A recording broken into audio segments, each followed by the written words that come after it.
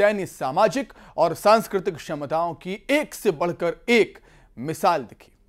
इस बार जिन स्वदेशी weapon system ने परेड की भव्यता में चार चाँद लगाए, उनमें tank T ninety Nag anti tank guided missile हैं, Pinaka multi barrel rocket launcher और 105 मिनी मिमी इंडियन फ़ील्ड गन शामिल थे। कर्तव्य पथ पर हिंदुस्तान का दम देख दुनिया ने दांतों तले उंगलियाँ दबा ली। आप भी देखिए।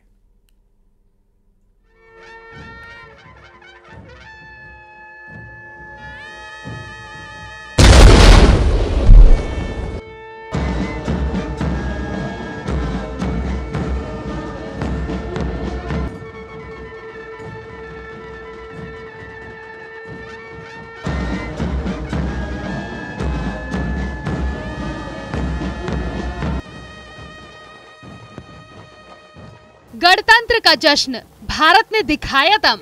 डर गया दुश्मन।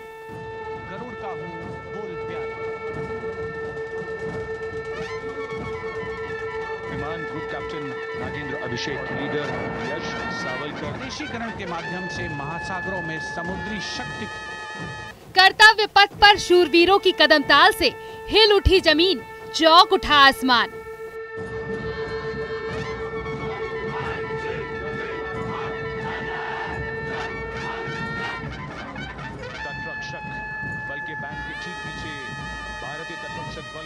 जब बादलों के बीच राफेल और जागुआर ने लगाई दहाड़ ने उनके साथ wing commander Chaitanya Suryavanshi squad leader Yash Savalkar wing commander Amit Verma squad leader Sushil Shinde और squad leader all all Jaguars.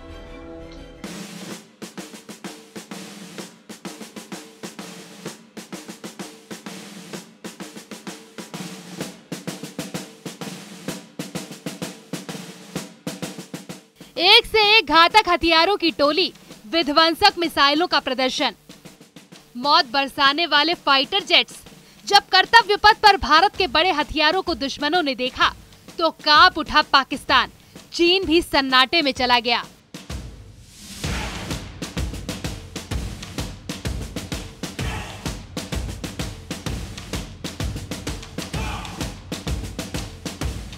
पचहत्तरवे गणतंत्र दिवस पर भारत अपनी शक्ति का प्रदर्शन कर रहा था। फ्रांस के प्रेसिडेंट इमैनुअल मैक्रो मेहमान बनकर हिंदुस्तान की ताकत को देख रहे थे। लेकिन सवाल उठता है कि भारत के वो कौन से घातक हथियार हैं, जिन्हें हिंदुस्तान के बाहर की दुनिया भी बड़े गौर से देख रही थी।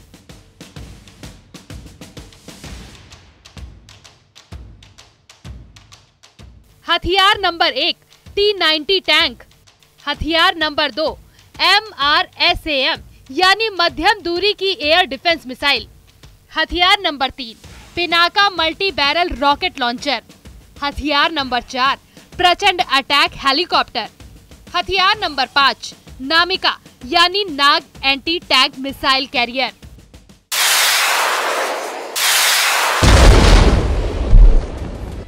हथियारों की लिस्ट कोई इतनी छोटी नहीं। अभी आईएएफ की ताकत आगे दिखाएँगे। पहले जिन विध्वंसक हथियारों का ज़िक्र किया। उनका प्रदर्शन तो देख लीजिए। रेजिमेंट का आदर्श वाक्य कर्म शौर्य विजय। भारत की उन्नत सामरिक शक्ति का प्रदर्शन कर्तव्य पथ पर देश देख लीजिए इन हथियारों ने फौज को कैसे हथौड़े वाली ताकत दे दी। ऐसा हथौड़ा जिसके वार के बाद दुश्मन फिर उठने की हिम्मत नहीं करेगा। वो दम तोड़ देगा। टी नाइन्टी टैंक से लेकर Pinaka multi barrel rocket launcher और प्रचंड हेलीकॉप्टर से लेकर नाग एंटी टैंक सिस्टम ये सब हथियार मिलकर ऐसी फायर पावर देते हैं, जो किसी भी स्ट्राइक कोर की सबसे बड़ी ताकत कही जाएगी। यानी कि मैन पावर के साथ मशीन पावर क्योंकि इसमें फौजियों के साथ टैंक भी हैं आर्टिलरी भी है एंटी टैंक सिस्टम भी है अटैक हेलीकॉप्टर भी हैं, और दुश्मन के हमले को नाकाम करने वाली एयर डिफेंस मिसाइल भी है। भारत के पास 4000 से ज़्यादा टैंक है, और इनमें सबसे ज़्यादा तादाद टी सेवेंटी टू टैंक की है, यानी करीब ढाई हज़ार। भारत के पास करीब 1500 टी नाइन्टी टैंक है। जबकि अर्जुन टैंक की तादाद 124 से 150 के बीच है। टैंकों की तादाद या इनको आधुनिक बनाने के लिए लगातार काम चलता रहता है, क्योंकि भारत के दो पड़ोसी मुल्क, चीन और पाकिस्तान की कारस्तानियों का लेखा जोखा धोखे वाला है। इसीलिए गणतंत्र दिवस पर बड़े हथियार दिखाए जाते हैं। बड़े खतरनाक फाइटर जेट उड़ाए जाते हैं।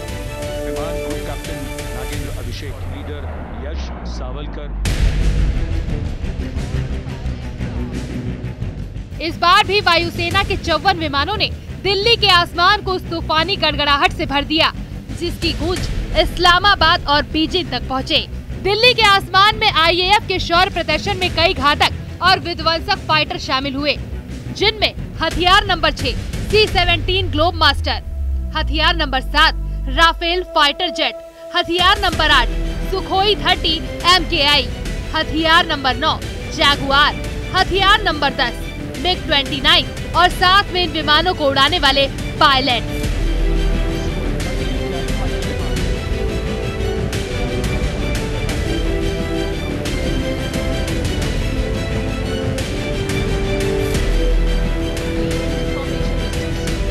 कर्तव्य पथ पर बैठे मेहमान भी अचानक हैरान रह गए, जब दिल्ली का आसमान आईएएफ के तूफानी फाइटर्स की दहाड़ से भर गया। इस बार फ्लाई पास्ट में एयरफोर्स के चौवन विमानों ने उड़ान भरी, जिसमें फ्रांस के जेट भी शामिल थे।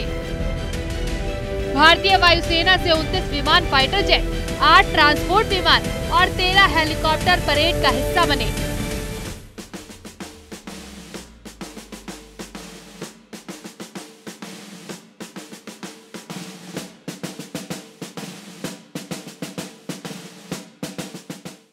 इस बार फ्लाई पास्ट में महिला शक्ति भी देखने को मिली। आईएएफ की पंद्रह जाबाज बेटियाँ इस बार आसमान में दहाड़ती नज़र आई, जिनमें छह महिलाओं ने फाइटर जेट की कमान संभाल रखी थी। इतना ही नहीं, कर्तव्य पथ पर इस बार महिलाओं का ट्राई सर्विस दस्ता मार्च करता नज़र आया। यानी इस दस्ते में आर्मी एयरफोर्स और नेवी सेना के तीनों अंगों से जाबाज बेटियाँ शामिल हुई।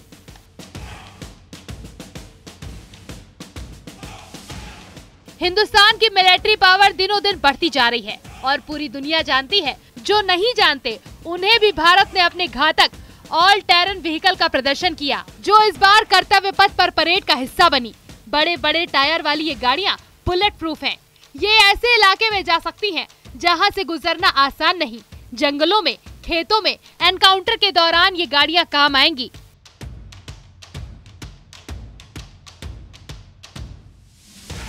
यानी आसमान से ज़मीन तक हिंदुस्तान के बेजोड़ हथियारों के सामने दुश्मन कहीं नहीं टिकता। भारत की इसी ताकत को आज दुनिया सलाम करती है। Bureau report, news eighteen.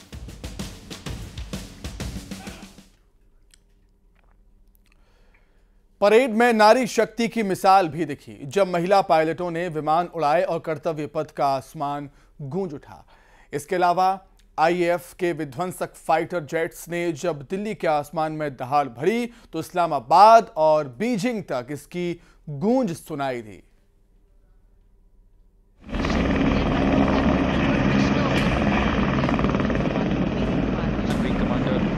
Mishra के हाथों में और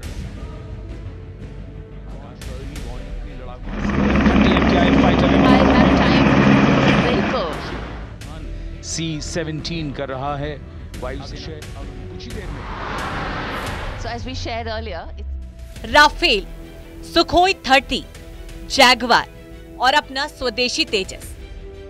स्वतंत्र भारत में आज़ाद आसमान का सबसे भरोसा दिलाने वाली तस्वीर है युद्ध छिड़ने पर दुश्मन की हवाई घेराबंदी का यकीन है ये।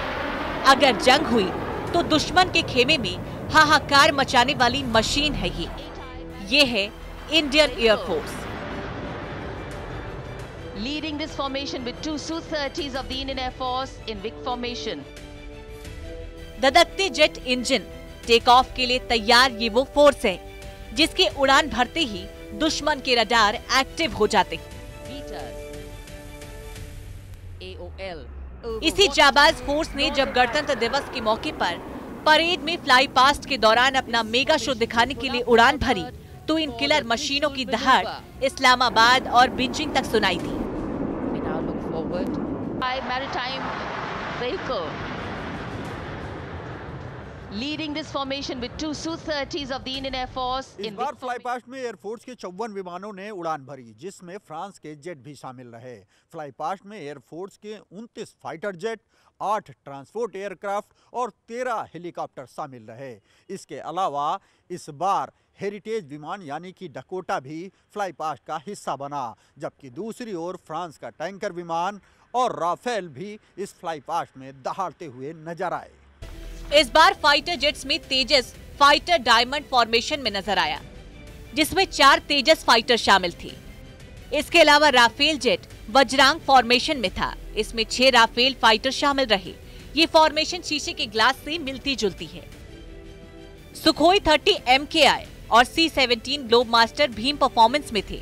इसमें एक ग्लोब मास्टर की दाएँ बाएँ सुखोई फाइटर जेट उड़ रहे थे। इस बार अपाचे हेलीकॉप्टर के साथ साथ देश में बने प्रचंड लाइट कॉम्पैक्ट हेलीकॉप्टर ने भी उड़ान भरी और इसकी फॉर्मेशन का नाम भी रखा गया, प्रचंड। वैसे ज़्यादा फायर पावर के मामले में अपाचे भी है, जिसे भारत के हेलीकॉप्टर वाले जंगी जखीरे में सबसे खतरनाक मशीन माना जाता है।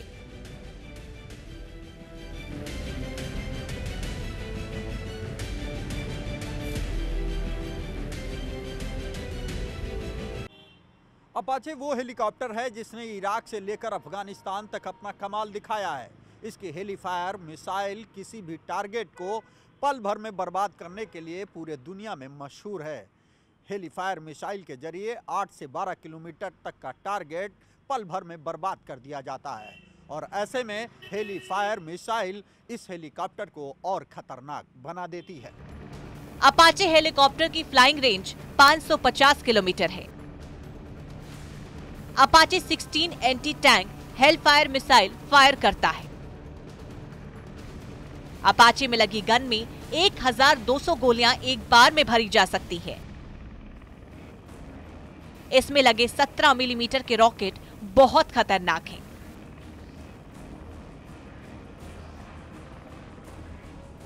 जो पूरी बटालियन पर भारी पड़ सकती है। अकेले ये हेलीकॉप्टर पूरे टैंक रेजिमेंट को रोक सकता है, जिसकी झलक आज गणतंत्र दिवस की परेड में भी दुनिया ने देखा। भारत के पास 22 अपाची अटैक हेलीकॉप्टर का बेड़ा है, जो पठानकोट में तैनात है। लेकिन लॉन्ग रेंज वाली सुपरसोनिक रफ्तार वाला आक्रमण तो फाइटर जेट करते हैं और इसमें भारत की ताक देख लीजिए।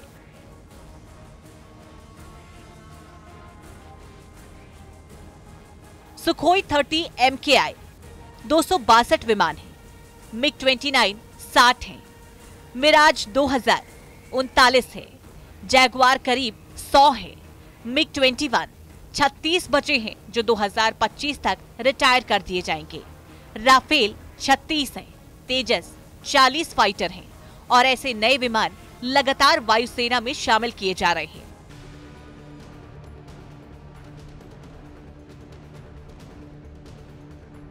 तेजस यानी चमक ये चमक दुनिया के आसमान में ऐसी रोशनी है, जिसमें भविष्य के लड़ाकू विमान तैयार करने की मज़बूत बुनियाद कही जा सकती है।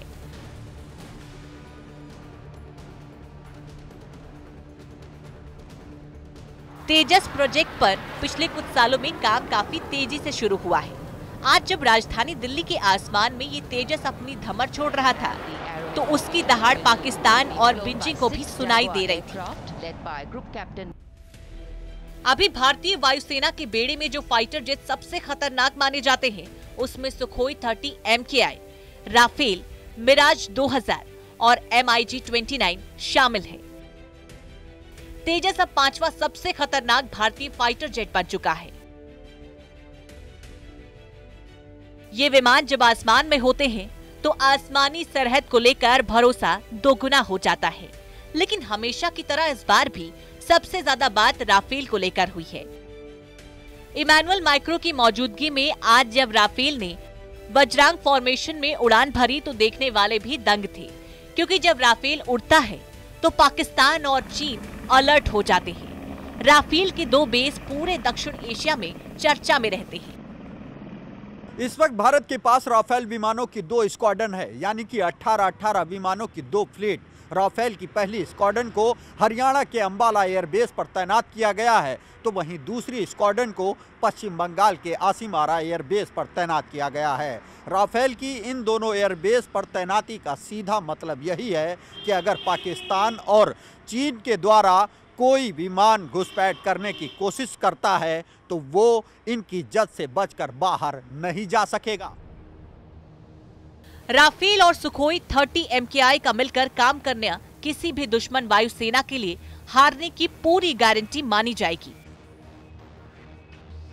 चीन और पाकिस्तान को राफेल और सुखोई वाली इक्वेशन से बहुत डर लगता है, चाहे पाकिस्तान के पीएम हो या फिर शी जिनपिंग। दोनों की एयरफोर्स इस जोड़े के खिलाफ कभी नहीं लड़ना चाहेगी। दोनों जहाज़ ऐसे रडार और सेंसर से लैश हैं जिनका इस्तेमाल अगर साथ किया गया तो चीन के फाइटर जेट पूरी तरह एक्सपोज हो जाएँगे। इसीलिए सुखोई इस बार बहुत सी फॉर्मेशन में शामिल हुआ। और इसकी बड़ी वजह है वायुसेना सुखोई का दर्जा। 260 से ज़्यादा विमानों के साथ सुखोई इस वक्त इंडियन एयरफोर्स की बैकबोन बन चुका है। आईएएफ में इस बार फाइटर्स के साथ साथ अपनी जाबाज वुमेन फोर्स का भी प्रदर्शन किया। कर्तव्य पथ पर परेड में पहली बार। All women tri service team शामिल हुई। टाई सर्विस टुकड़ी का नेतृत्व कैप्टन शरण्या राव कर रही थी.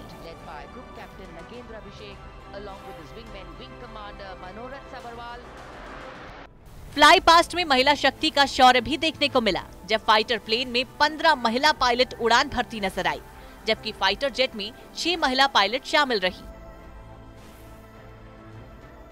एक तरफ़ अत्याधुनिक फोर्स हाईटेक हथियार विध्वंसक मिसाइलें और किलर फाइटर मशीनें भारत के दमखम में इजाफा कर रही हैं, तो दूसरी तरफ़ जाबाज बेटियाँ हिंदुस्तान के शौर्य में चार चाँद लगा रही हैं। और इस बार की परेड की थीम भी नारी शक्ति ही थी।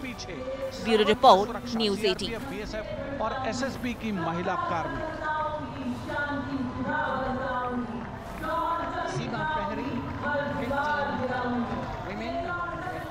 कांस्टेबल अनुपम